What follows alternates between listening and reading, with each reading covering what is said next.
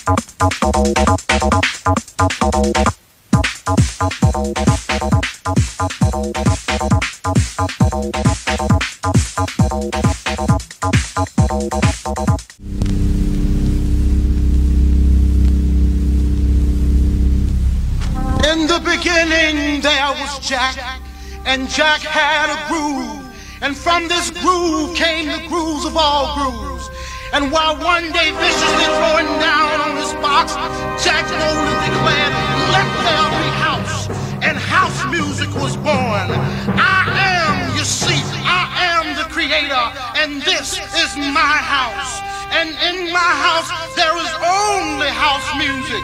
But I am not so selfish because once you enter my house, it then becomes our house and our house music.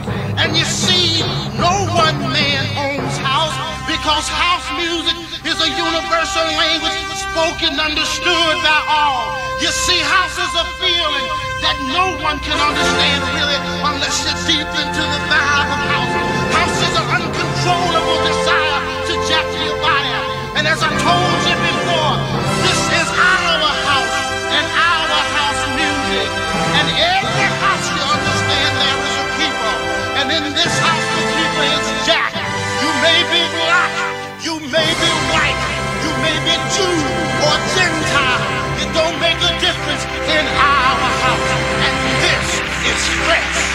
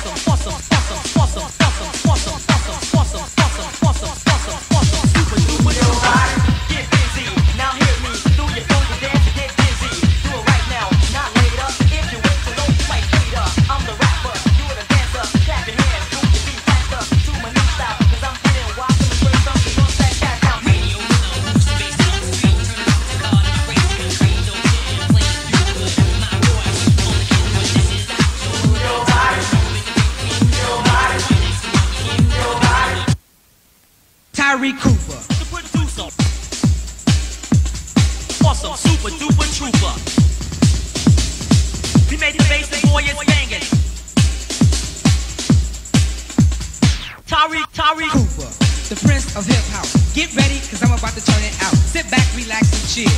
Cause here's something that's so damn real. With the record that's proven and grooving and smoothing. To put you in the mood in. Don't worry about getting rowdy. Just dance and move your body.